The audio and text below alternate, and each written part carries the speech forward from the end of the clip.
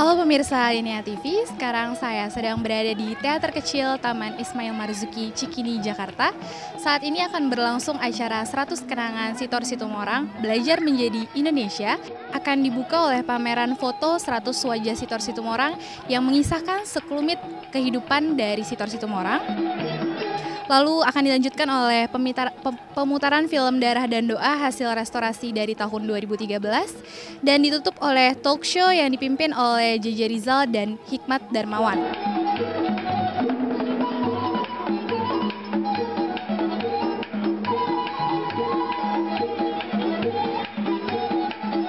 Kami coba sebagai panitia untuk menampilkan uh, beragam sisi dari Pak Sitor yang mungkin tidak semuanya dikenal oleh umum.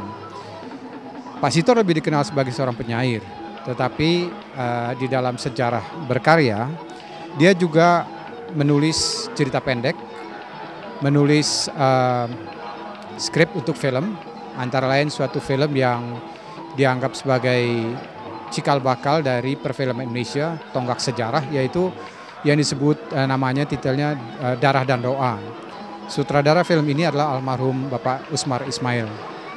Kemudian Pak Sitor juga uh, banyak membuat naskah drama. Dan di dalam karirnya kemudian, terlebih setelah tahun uh, 50-60-an, dia juga banyak terlibat di dalam politik. Dalam arti, dia menjadi seorang yang berjiwa nasionalis dan sangat ingin bahwa sebagai bangsa kita memiliki budaya yang kuat dan memperlihatkan ciri yang sesungguhnya dari bangsa Indonesia. Pada pameran mengenang 100 hari Bung Sitor ini, ya, saya menampilkan beberapa foto yang menurut saya penting untuk disampaikan kembali kepada publik. Terutama tentang foto-foto misalkan foto Pram dan Sitor, ini menceritakan bagaimana mereka ini berjuang menunggu sampai satu rezim tumbang dan mereka percaya mereka akan bisa bangkit. Mereka ini Soekarnois, Soekarnois. Jadi mereka ini yang sebenarnya kita harus hormati. Mereka ini yang banyak membawa perubahan. Ya, seperti itu.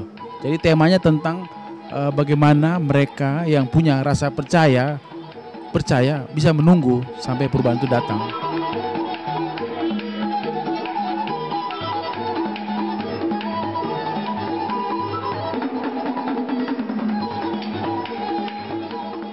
Di hari kedua pada tanggal 21 April akan berlangsung pula acara-acara menarik yaitu pemutaran video puisi Sitor, peluncuran buku cerpen, pembacaan cerpen oleh para sastrawan, pembacaan puisi, dan pertunjukan musik Marusya Nainggolan. Dan pada acara puncak tanggal 22 April akan berlangsung pemutaran video pulangnya si anak hilang, sambutan, musik tradisional, dan testimoni dari para kerabat Sitor Sutumorang.